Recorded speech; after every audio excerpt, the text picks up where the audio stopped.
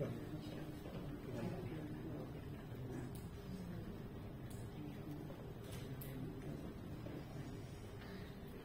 ongi etorri eta eh, eskerrik asko, prentsako kidei. Eh, eh,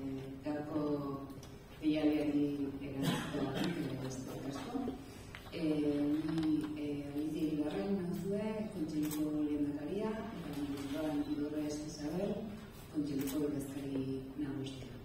Eh, oraingoan, kon- eh, Iburrek eh, irakurko digu eh, orain batzarrean bazkideo konatu dugun eh, botere judizialaren ondarradiari aurre egiteko eh, adierazpena. Ez, Iburrek nagoitza. Egun honetan ongi etorri, itun politiko eta sozial bat Euskararen bizi berritzearen aurkako olatu erreakzionarioari aurre egiteko.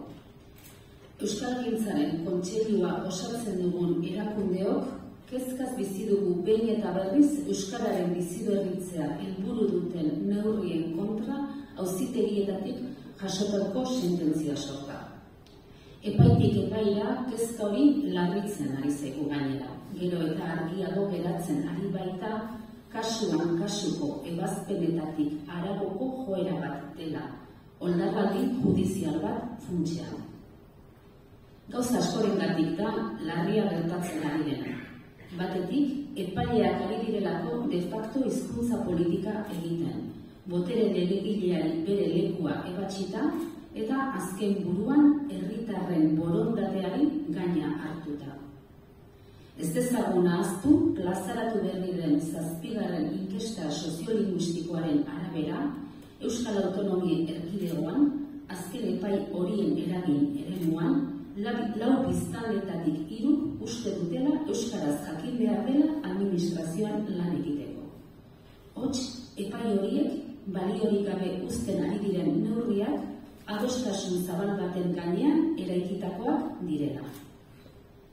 Bestetik, epai hauen guztien ondorioa da milaka herritarren eskubideak urratzen direla. Hau da, herritartasuna gauzatzeko gunerik nagusienean, administrazioarekiko harremanean, ukatu egiten zaiela euskaraz beren burua argazten duten hizkuntzan hartuak izatea. Ukatze horrek eragin handia dauka milaka herritar horien eguneroko bizimoduko arlo askotan. Bizipena bera nabarmenki okertuz. Halaber, administrazioko milaka langileren eskubideak urratzen ditu. Euskaraz lan egiteko aukera eta eskubidea galarazten baitien. Alde horretatik, nabarmentzekoa da, epai hauek guztiak lotzen dituen aria, premisa faltsu bat dela. Lan eskubideak eta hizkuntza eskubideak kontra jartzea. Izan ere, oldarraldi hori erantzunez epaien jomugan izan diren langileen protestek agerian utzi duten bezala, elkar osatzen duten eskubideak dira. Inola ere ez kontra jarria.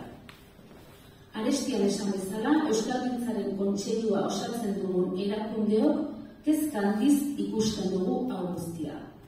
Kezkaz ikusten dugu Euskal Herriko hiru eremu administratiboetan indartzen ari den joera bat delako. Eta aldi berean, Euskal Herritik arago, Espainiako eta Frantziako estatuetako beste hizkuntza gutxituen eremuetan ere gertatzen ari delako. Larritasun honen aurrean erantzuteko eskaria jaso dugu jendartetik. Urte hasieran aurreratu bezala protokolo bat lantzen ari gara ondarraldi hori tokian toki erantzuteko behar diren tresna herritarren esku jartzeko. Nola nahi dela, ondarraldiari erantzuteko biderik egoki eta eraginkorrena adostasun sozial eta politikoetan sakontzea dela argi du kontseiluak olatu erreakzionarioari aurre egingo dion itun politiko eta soziala helburu. Olatu erreakzionarioari eutsiko diona ez ezik, aurrera jauzi egin eta euskararen bizi berritzeak egon dituen erronkei erantzuteko moduko hizkuntz politika sendoak jasoko dituen itun politiko eta soziala. Bide horretan, askotariko eragile sozial eta politikoekin elkarrezketa erronda hasiko du kontseiluak. Kinta esku honetan erantzun bizimez jokatuko dutela espero dugu. Berriro diogu, larria da gertatzen ari dena. Euskararen bizi berritze prozesuaz arago, milaka herritarren milaka herritarren bizitzen bizigarritasuna baitago auzitan. Eta arekin batera, berdintasuna, justizia eta koesio soziala. Funtzean, bizikidetza.